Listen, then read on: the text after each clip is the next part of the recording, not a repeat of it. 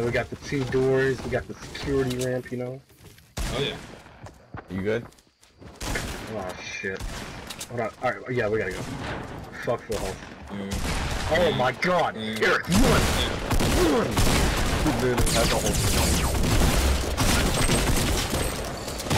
He just destroyed their lives.